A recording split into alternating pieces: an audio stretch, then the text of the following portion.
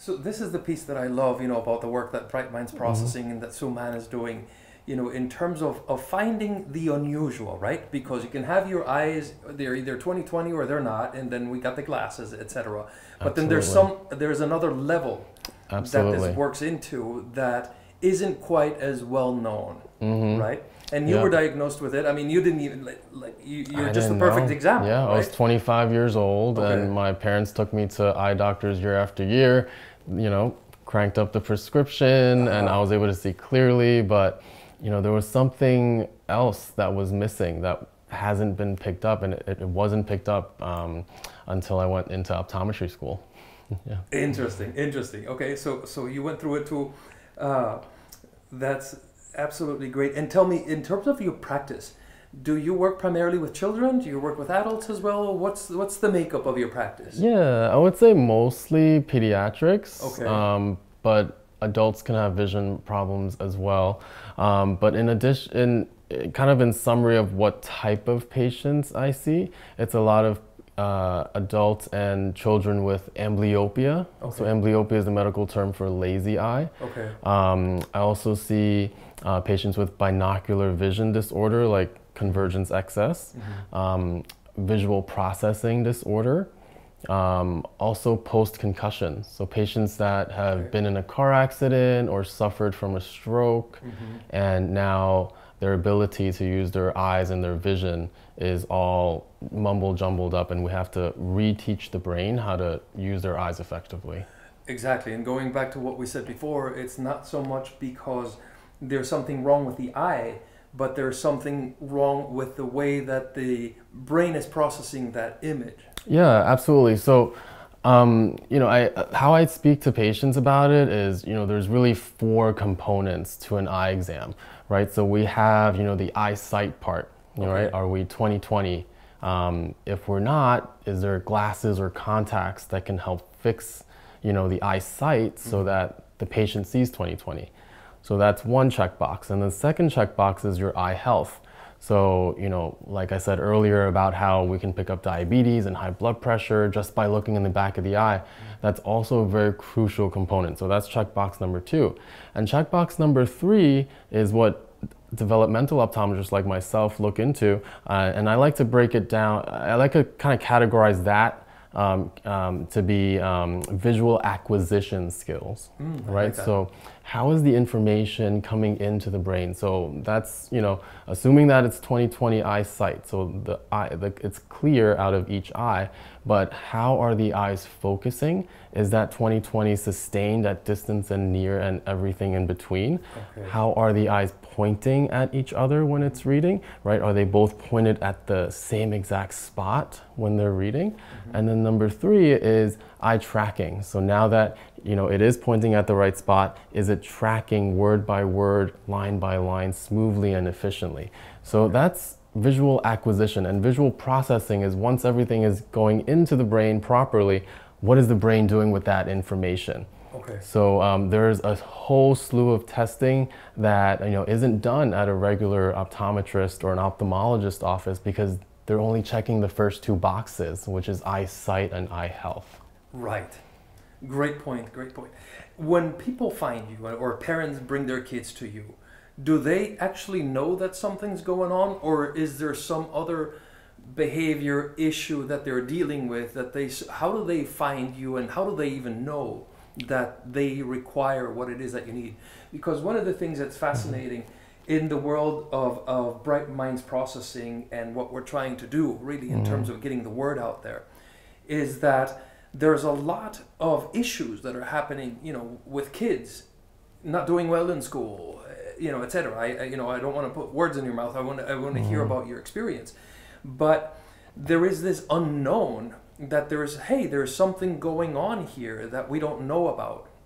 And yeah. so tell tell us, you know, how, how do people find you? Yeah, no, absolutely. And and this is why I love, you know, what Sue is doing with Bright Minds Processing because it's really bringing awareness to an area of optometry that is you know so needed in in, in the world in, in children's lives and, and how um, they're comprehending and progressing through school um, you're right a lot of times if the child isn't complaining this could be missed and they're adults, and then you know they're kind of pigeonholed into professions that don't necessarily require excellent visual skills. So in terms of how I um, uh, how I get these patients, you know, parents will bring these children in to see me because they see that they are having headaches when reading, mm. right? They have eye strain. So they're reading for five minutes and all of a sudden they don't want to read anymore.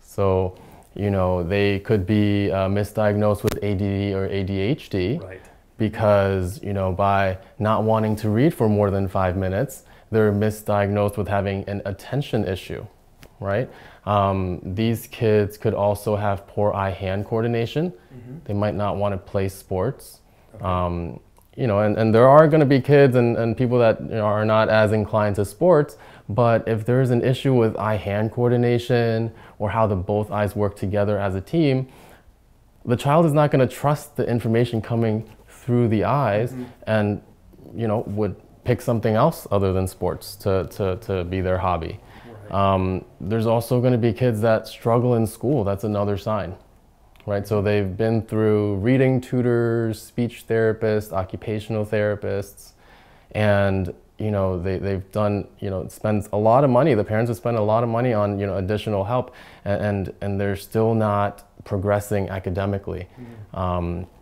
you know, as as they should be, and you know their their grades are slipping, and you know they're reading below grade level. And there's so many stories. I, I just got an email this weekend from a mom that you know finished uh, 20 sessions of vision therapy. Her child did, and you know she successively um, went from third grade to fourth grade, um, and she's no longer having headaches when reading, and she's just gained so much more confidence, not only in the classroom but in her life. So uh, these are the type of stories that I love hearing because um, we're able to provide that missing piece to the learning puzzle.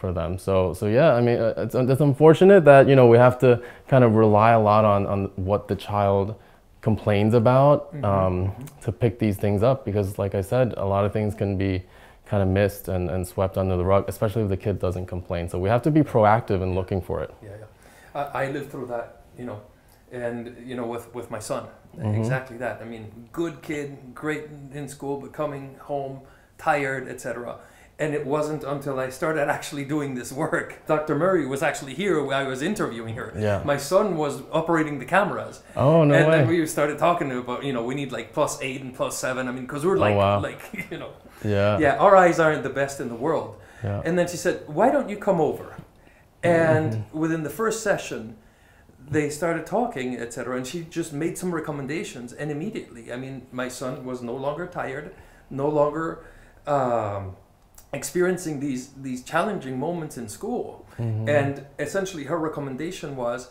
stop taking notes.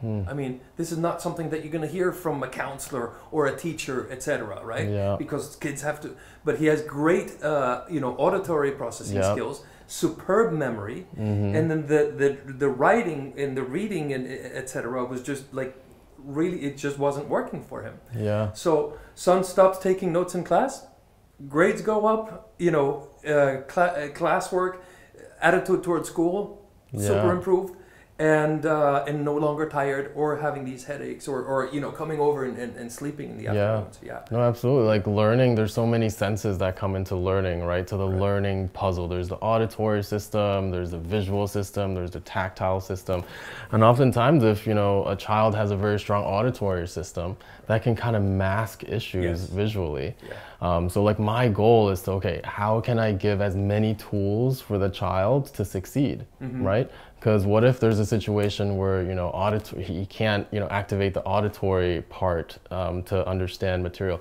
He now he has to rely on the vision side. Right. Right. So what can we do to bolster vision as much as we can? Um, but that's that's a great story. Yeah. There's yeah. so many pieces to, to the learning puzzle. Yeah. And that's yeah. yeah.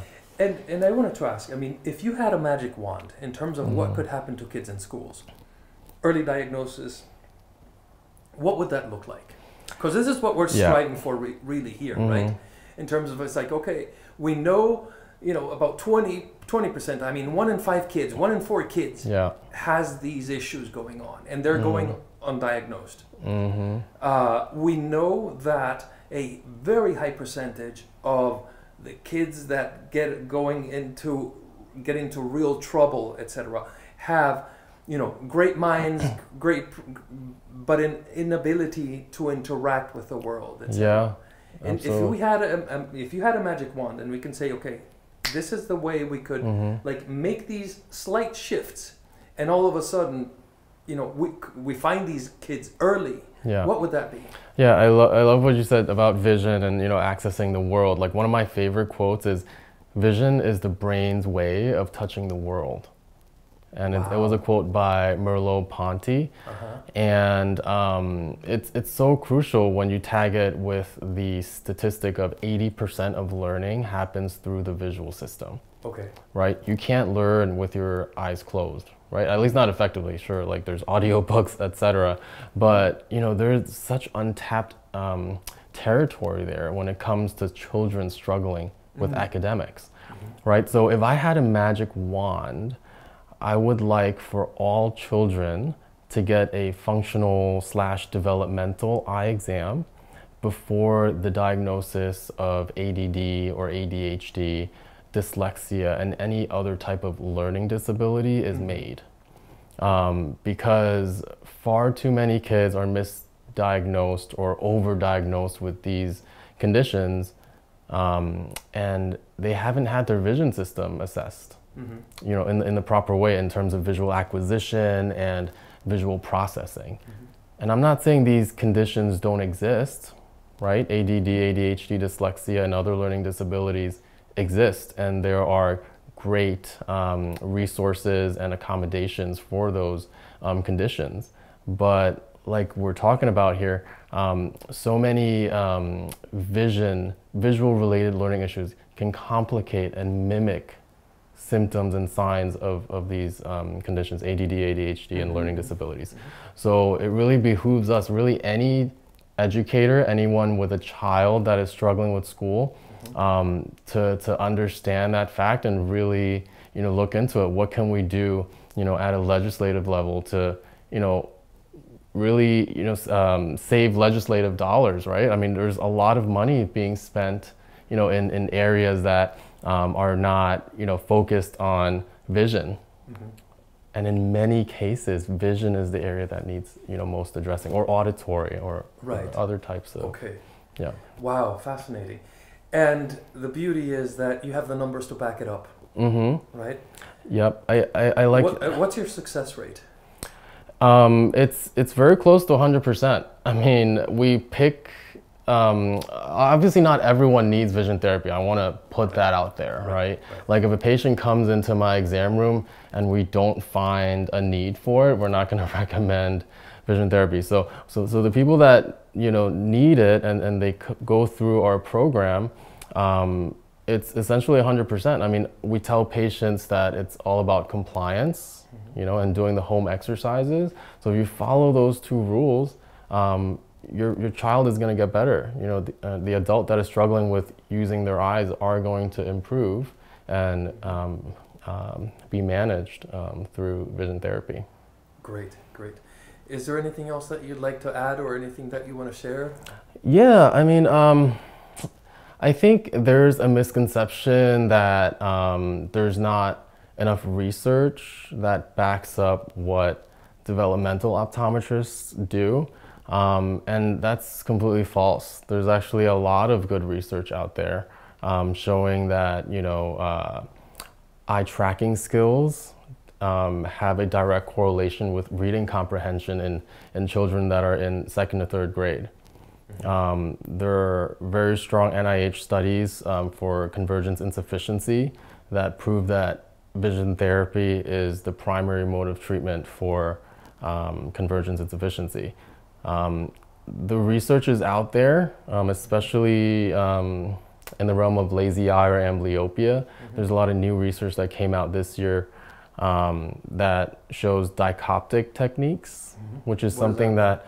dichoptic techniques is um, a vision therapy procedure where um, you wear red green glasses. Okay. So one eye sees one target, and the the other eye sees a, a background, Okay. and it basically enforces both eyes to work together um, at, at the optimum level.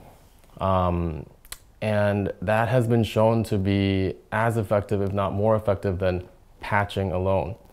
Okay. Right? So, you I know, went through a lot of patching when I was a kid. That's right. Yeah. Exactly. Yeah, okay. So you know, and it's interesting. Did you know that uh, you know the patching studies that came out saying like, oh, if you have lazy eye, patch for two hours a day or six hours a day. That research came out 20 years ago, yeah. right? Yes. And um, we now have technology uh, with research um, that came out this year and last year that shows there are better ways of treating amblyopia. So that's just one of the many conditions that we treat in the vision therapy room, um, and there are uh, they're FDA approved, you know, machines that address this. Um, One one thing that I'm thinking of in particular. Um, so the research is out there. I think we need to continue to spread the word and bring awareness to it because there's a lot of kids that need our help. Yeah. So Yeah, yeah. And our intent, or, or at least one of the visions that we have, is again to create these these case studies and, and doc, Mhm. like a, in a documentary fashion, yeah. so that it, we can just sort of throw this out there and really make it sort of mainstream. Yeah. So so it's like, oh, ding, ding, ding, ding, done. Yeah. Wow, one out of five kids all of a sudden. Wonderful experience in school, wonderful experience learning, wonderful experience doing life Yeah. that otherwise it's like uh, slippery slope. Exactly. Uh, And one of my the, my favorite things is like seeing kids gain confidence. Yeah. Oh. And it's it's so Talk true. a little bit about that. like it's, it's really good. Yeah. Yeah, just like kids, you know, coming in, you know, for their first vision therapy session, they don't have very high self esteem because unfortunately the school system makes it very apparent when you're not the fastest, you know, child in class to finish an exam or copy notes from the board, right? It, it's very clear, you know, who is the stronger student academically versus not. So this is a child that is already struggling um, and, you know, not being picked for sports teams and, you know, multiple things happening, you know, at school that, you know, they're just truly not interested in because they don't believe they're good enough Right. right? And when, when we see them in therapy, we build these skills. They work with therapists on a one-on-one basis every week. They develop rapport, and they slowly gain confidence. And by the time they graduate, not only are you know the, the skills improving, and we we know we assess skills from the moment they come in to you know after they finish the program, and we're able to see statistically improvement, numerical data improve. You know that's great and exciting, but what touches my heart and makes me most most exciting is you know the, the, the kid that has you know um, graduated you know fourth grade class you know most improved in reading and you know finally you know loving sports you know joining the tennis team where they had no you know confidence before you know uh, or even thought of joining you know a sports team and it you know just you brighten up their lives and so many other facets of their life improve and it's not only the child it's also the parents that's doing homework with them Yeah. right homework is not taking three hours anymore now it's taking the normal 15 minutes to 20 minutes and you're changing family dynamics which is amazing Yeah. Yeah. hmm Great point, and and great point with that with with a bicycle analogy. yeah That was super. We yeah we didn't have Mhm. that before, so thanks. Again, thank you. This is Mhm. great. You're wonderful for for interviewing. You know, thank you so much yeah. federico such a pleasure. Yeah. yeah